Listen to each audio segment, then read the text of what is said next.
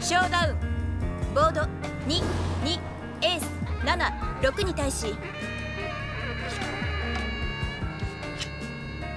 城丸様エースと2の2ペア。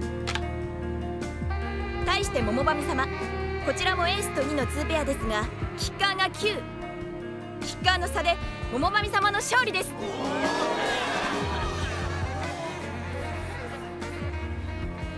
参りました。最初から最後まであなたの手の上だったようだ。おっと危ない。グッドラックつまらないわねさやかなぜこんな戯れをなさるのです？誰かいないかしら。私を本気で取ろうとする者では僕らがそう。ようやく楽しめそうね